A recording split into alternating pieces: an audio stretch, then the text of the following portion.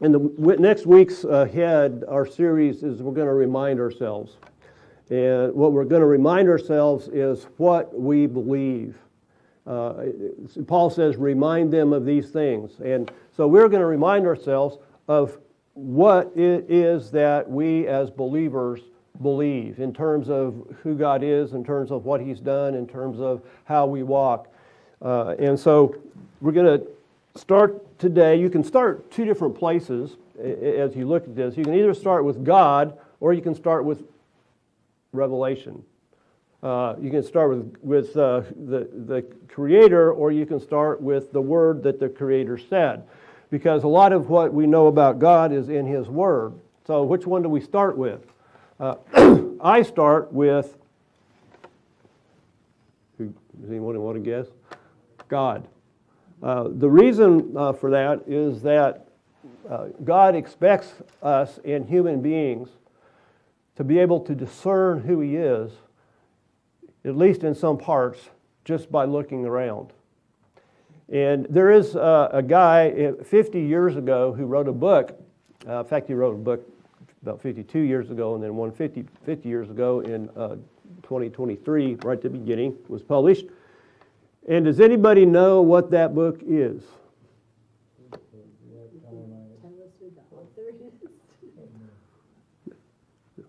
You, I'll give you a hint. If you read your email from the church, it was in there.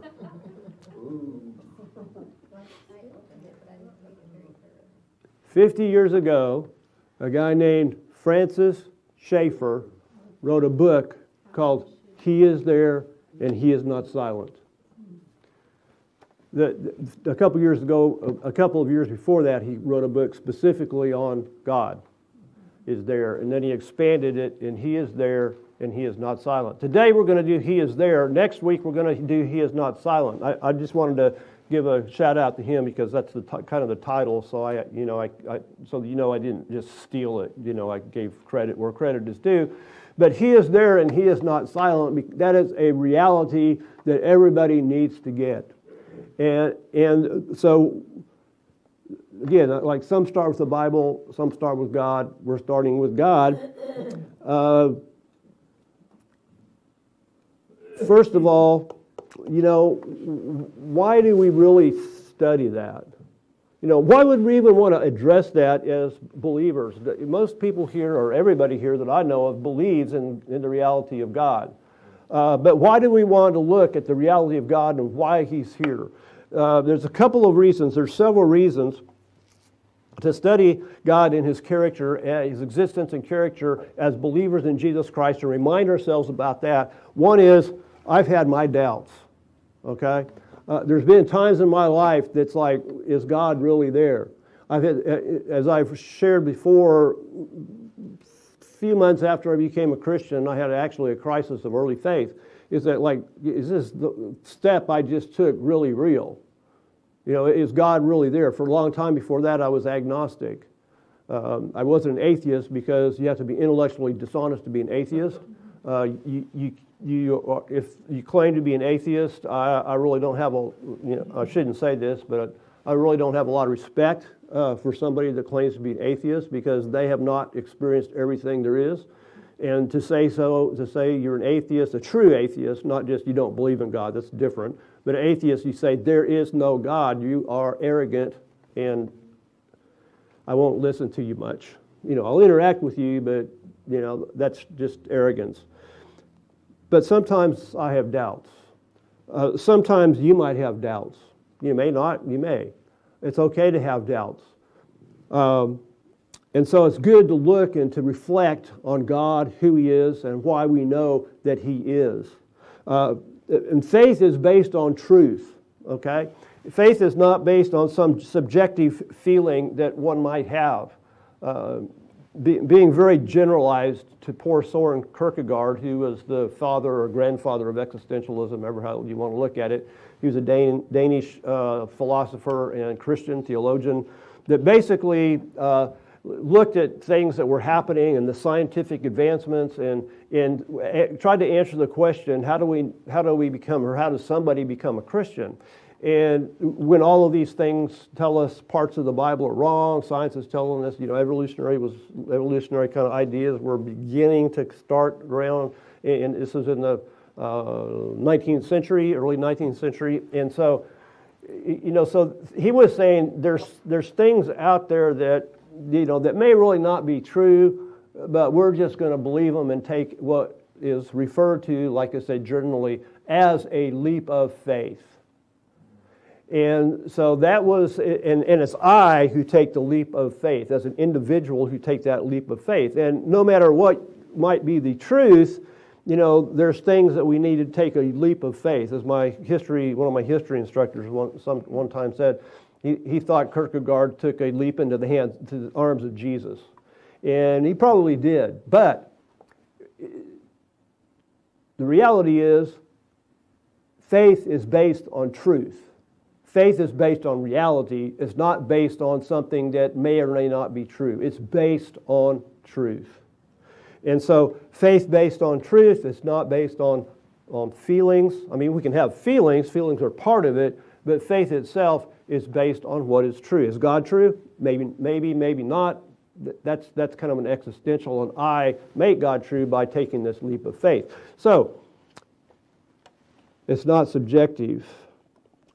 Also, discipleship. You know, uh, either ourselves, you know, we just need to know who God is, remind ourselves who God is, what He does, and, and the kind of character that He has, and, and also other people.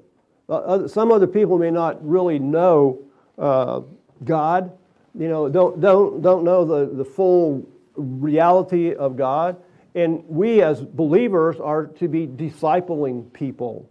That doesn't miss mean evangelism. Evangelism is part of it, but also disciples. In fact, our own assurance evangelism. If we're not assured of the reality of God, how can we t- talk to somebody else about Him and what He did? So, you know, that, that evangelism is, uh, you know, the ability uh, to share Jesus. Um, you know, a lot of people say, you know, you really need to focus on Jesus as we share Christ? Uh, yeah, but what's Jesus? God. We walk out there, there's a whole lot of people out there, and it's growing that do not believe in the real, true God. Maybe religious, religion is starting to come up, but not people who believe in the real, true God. And so as we interact with people, we need to have an understanding of who He is and why we believe in that true God. And then evangelism becomes not a duty, but an honor because we really believe in the one true God. Now, He is there. We're going to start from nature one of the things that, that, as we look at God, God existed prior to Revelation. Not Revelation in the last book, but God existed before he spoke to Adam. God existed before he created Adam. So God existed. He is there, nature, a framework. I'm looking at a framework of how we think as we look at the world, how we see and think about God. Uh, first of all, and this is philosophical. Now, some might say, well, you can't talk about philosophy in church. Paul talked about philosophy in Scripture. So we'll look at that in a minute. But as we look, look at God, as we look around at the universe, we, we look around at the, what you're sitting on, as we look around and out at the, the universe, and by the way, why do I make mention of this? I'll, we'll talk about it. Well, here's a, a chair right here, okay? And everybody look at the chair. And this chair, um, ah, it didn't hit my wife. Thank goodness. Now, the first thing that we look at is the chair. But if you look at chair, you just came in and looked at this chair, you say, who did that? Right? Mm-hmm. Who did that? The first cause. How did it all begin? First cause. Who was the first cause? Because if you look at this chair, you say, okay, who did that? But you come in here and you say, who did all this? There was somebody that did it. There was a cause who did it. And the cause goes all the way back to the people who made the chair, to the people who delivered the chair here, to, to those people that what? Hmm? Made, made the frame. People that what mined to get the metal. Okay. All of these are, are causes. They're first causes, but there's always a cause, always a cause, all the way back to the beginning. Who was the first cause? God. So if just looking at nature, just looking at the reality of nature, there's a cause. Somewhere there was a first one. So there's either matter. Who caused matter? God. God. Or matter is always existent. That you can you can say that. Matter is always existent. Or you can say you know, the first cause was an alien who came and made it. I've heard that. Okay. Well, okay. We're just going back to the alien's cause. Who, who, who caused the alien? You know, so that doesn't answer the question. You know, it might have existed forever, maybe, but we'll get into some things that maybe make it more like, okay, who, who designed this chair? Somebody designed this chair. I mean, there's uh, this chair here, there's a chair in there, there's a chair in there. They're all different, but they're all designed. Somebody designed them, right?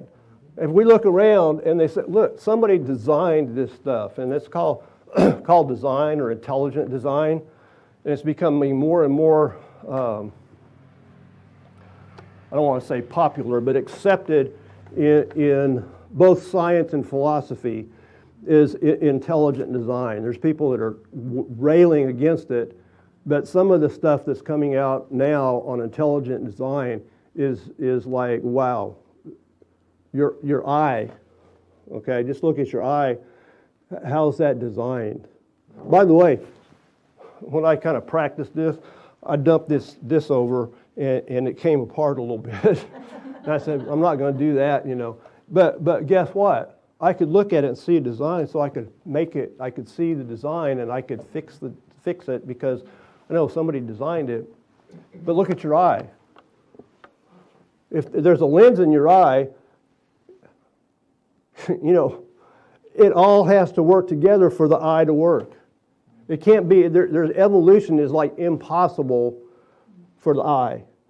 Then down into microbiology, there's certain mechanics in cells that you have to have the whole thing for it to work. You just can't have one of them. Intelligent design. He made it, he designed it, he was the first cause. It's all designed. It's called the cosmological argument, by the way. Personality. All these people, all you people in here, you have personality. Where did that come from? God. Morality. It's kind of universal. That's another you, you look at people everywhere, they have, they have a sense of morality. You know, now it can be that people just looked at things and over time it evolved so that, you know, your, your morality is so people don't die and the whole race fall, you know, gets killed and stuff, but I don't think so.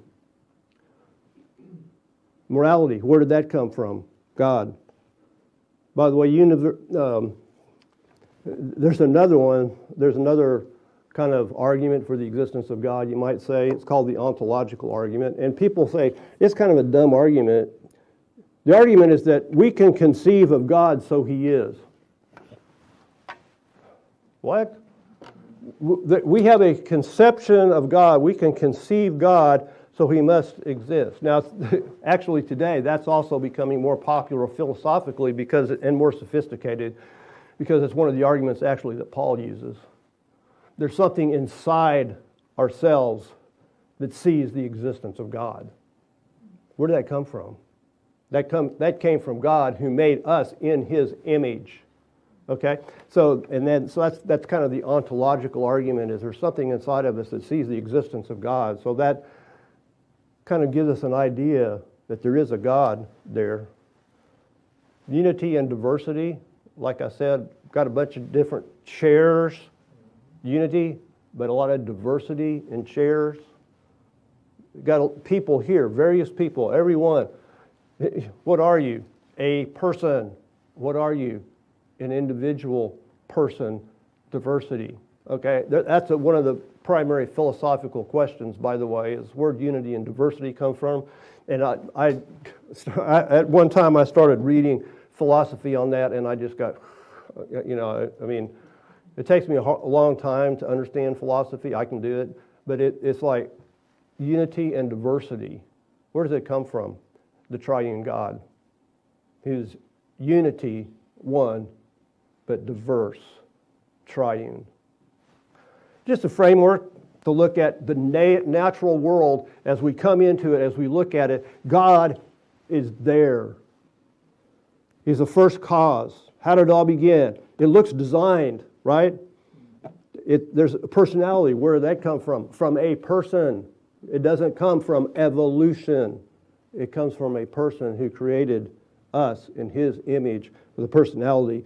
Morality, we can conceive of God, so he is and unity and diversity, He is there. Just looking at the universe, just looking at His creation, He is there. Now, also, it's referenced in the Bible, by the way. You know, not, we're not going to just talk about philosophy. In the beginning, God created the heavens and the earth. God is assumed in Scripture. He is. You know, Abraham, I mean, Abraham, Moses asked the person in the burning bush, Who should I say sent me? I am who I am. God is. The Bible understood and assumes God. Not just the Old Testament, it was John 1 1 say. I think we're going to, one, where to go, here? referencing, one, there we go. Second, in the beginning was the Word, and the Word was with God, and the Word was God. Okay, so beginning in the Old Testament, in the beginning was God. For, in the Gospel and New Testament, one of the apostles, in the beginning was God. But the Bible also uses the cosmological argument, the argument as seen in his creation. In Psalm 136, 5 and 6. To him who made the heavens and the earth with skill, for all his loving kindness is everlasting. To him who spread out the earth above the waters, for his loving kindness is, is, everlasting. You begin to see the character of God because it's difficult to see some of the characteristics of God without his revelation. He is seen by his creation. The heavens are telling of the glory of God, and their expanse is declaring the work of his hands. Day to day pours forth speech and right night to night reveals his knowledge. You look at the skies, you look at the heavens, and you see the hand of God in that. He is, oh, Lord God, behold, you have made the heavens and the earth by your great power and by your outstretched hands. Jeremiah, not this one, but the prophet. Nothing is too difficult for you. Again, his character and his action with us who also shows loving kindness to thousands, but repays the iniquity of the fathers into the bosom of their children after them, O great and mighty God, the Lord of hosts is his name. And you begin to see, I didn't write that up because we don't like to talk about God's judgment. you begin to see the split. There's those who love God and those who don't. And God has different plans for each one. Thus says the Lord who made the earth the Lord who formed it and established it. Uh, the Lord is his name. And then in Romans, as Paul uses philosophical language, for since the creation of the world, his invisible attributes, his eternal power, and divine nature have been clearly seen. Cosmological argument. You look at the world, you clearly see God. Being understood through what has been made so that they are without excuse. There are some who accept it, and there are some who don't. What's the, what's the verses around that? In verses 1 through 18, 18 and 19, I mean, 1, 18 and 19. For the wrath of God is revealed from heaven against all ungodliness and unrighteousness of men who suppress the truth in unrighteousness, because that which is known about God is evident within them, for God made it evident to them. What's that? The ontological argument. Because that which is known about God is evident within them. They understand within themselves there's a God that they are rejecting. So you see Paul using, as a very learned man, the cosmological and the ontological argument in Scripture. It's also proven by his miracles. You see, oftentimes, as God reminds his people about faith and his reality, he says, Look at the Exodus. I brought you out of Egypt with mighty works. The miraculous in the Exodus with Elijah, the prophets, and Elisha, and the greatest miracle of all, the resurrection in the New Testament. Again, when I was having a crisis of faith as a young believer, I looked at the empty tomb. It was real. You couldn't argue against it. The resurrection is real. And by the way, scholars are now more and more believing the reality that this was real. At least Jesus lived, Romans put him to death, and his disciples believed he was risen from the dead. Um, most historians will agree with that now. There was a time when they said, oh, it was just all a myth. But now they're seeing more and more historians saying, no, that's, that was real. Might not believe it, but they say that those events happened. His miracles. The nature of God who is there. Okay, we looked, He is there. And, and, that's where we need to start. Again, there's times, not just the, for when I was young, but there's times which I, when I've kind of said, said, is he really there? And that's where I had to go back. You have to go back to the beginning. Maybe you don't, but I did. Have to go back to the beginning uh, uh, of looking around and saying, yes, in nature you can see God. He is real. It's not just a figment of some myth or imagination or the, this, these Jews, you know, that had some kind of, you know, they're, they're crazy anyway. They had some kind of crazy myth going on. You look at, I can say that because she's got Jewish blood in her, so it's okay. It's interesting that God spoke and chose the Jews. And they wrote it down. And they said, hey, we see God in the universe, in his hand and his creation. And that's real. But what about this God? We see his power and his might in creation. What's his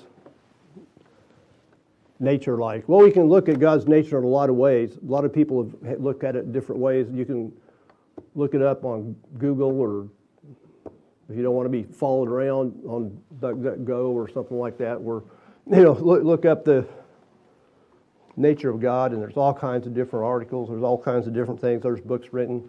I kind of prefer to look at it in in kind of like the the, the, the things that we have and the things that, that, that, that we have that are like God and the things that only God has in terms of his attributes, in terms of what he's like. One is we, we things that we have and that God have to common, which is understandable because he made us in his image, is we have intellect, right? We can think, we can reason, we know, we have emotions, we can feel, we have the will, a capacity to do, that's personality. God, God has personality, we have personality and intellect, emotions, and will, right?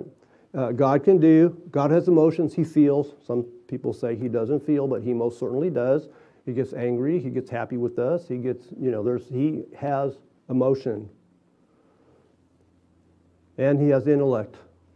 Now, there's the, the things that only He has, and that is infinity in each one of these areas, there's a, he is infinite. That's where you get the omni. Has anybody heard of omni? Not the theater, but, but omnip, uh, uh, uh, omniscient, all knowledgeable. His infinite knowledge. He has infinite power. He's sovereign, omnipotent, omnipotent, omnipresent, infinite present. He's everywhere. He isn't in everything. This isn't God, but He is everywhere. His defining nature, I think, I, uh, Doug Butz and I had a conversation about this one time many years ago. What's the defining nature of God? What defines God over all things? And I, I think, and I agree, he and I agreed actually, is holiness. God is holy. He is separate. But that holiness has two kind of aspects to it. There's a separateness to it. He is separate from us, but he is also totally righteous in that holiness. He has infinite love in his emotions. And um, that's this is one of the things that, that I also philosophical kind of theological things I have. Does God have infinite emotions? How does that work? You know, is he, he has infinite love, but does he have infinite wrath? And how, you know, how does that work? You know, so you, we can think about that, but God's emotions are real. He's infinite. But God demonstrates his own love towards us in that while we were yet sinners, Christ died for us. For much more than having been justified by his blood, we shall be saved from the wrath of God through him.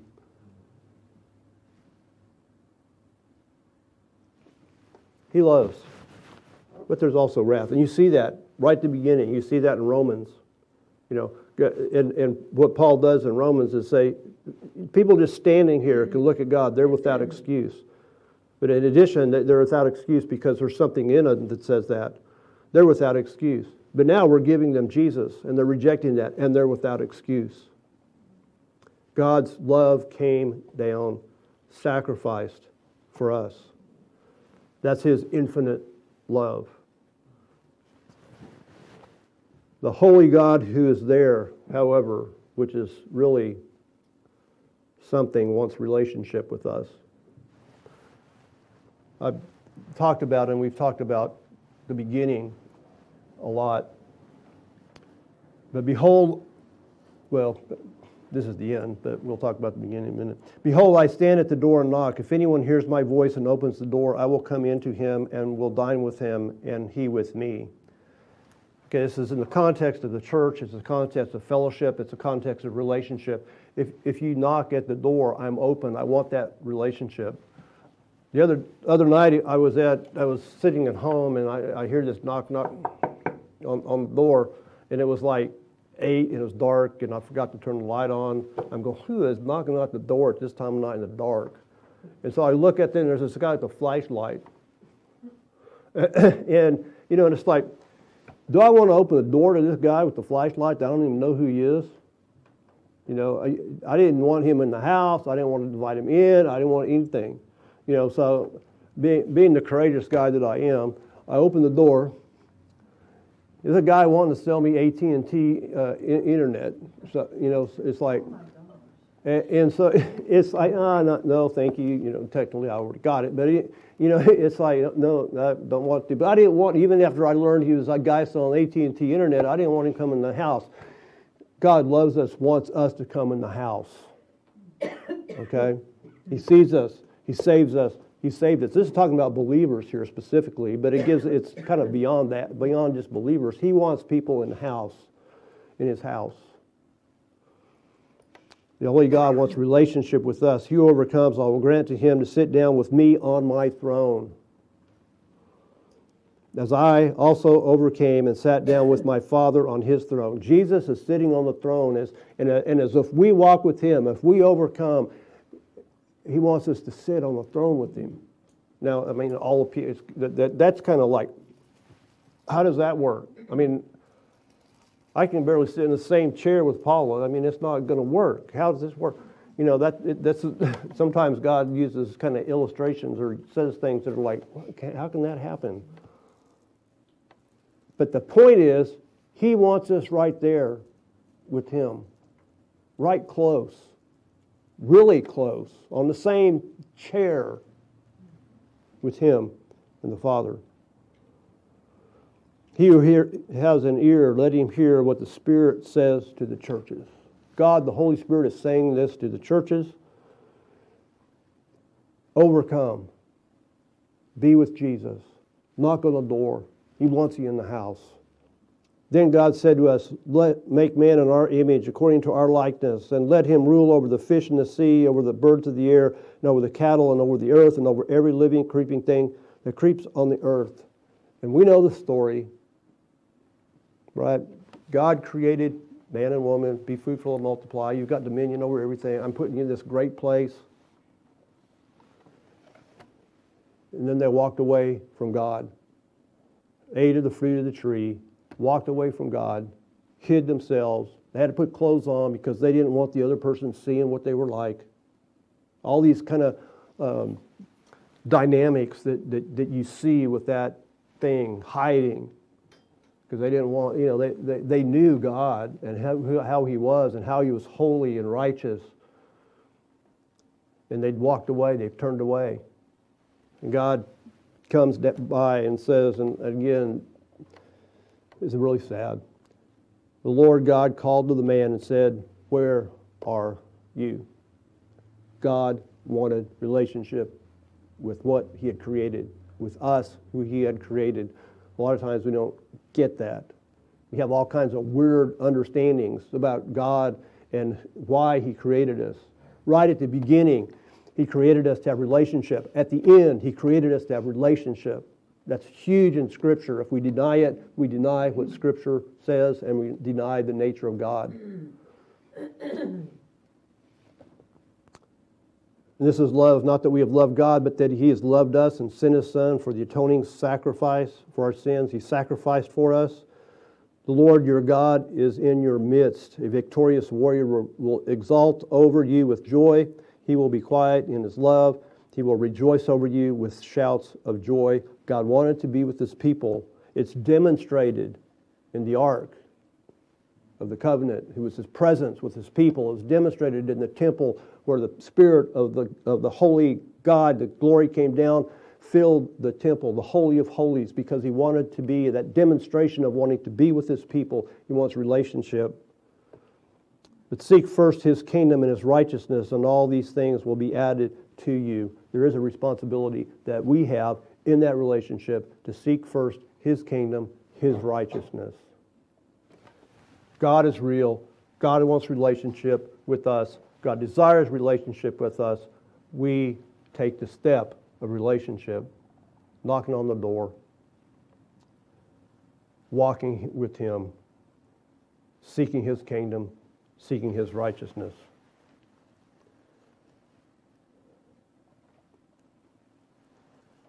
So, God is there, evidenced by nature, evidenced by His creation. He is there also, evidenced by His Word. The God who is there desires relationship with us. Our responsibility is faith and faithfulness as we walk, as we make transitions. We realize that God is there. The, the, the Matthew passage is in the midst of trouble midst of difficulties, in the midst of how, I, how am I going to live life. Seek first his kingdom and his righteousness, and all these things will be added to you. You don't need to worry. God is there. Let's pray. Father, thank you for this reality of your presence and your reality. Thank you that you are there, that you are not silent. We thank you for those that have gone before. We thank you for your sacrifice. And thank you for your revelation. Be with us as we walk in this difficult world, seeking first your kingdom, seeking first your righteousness. In Jesus' name, amen.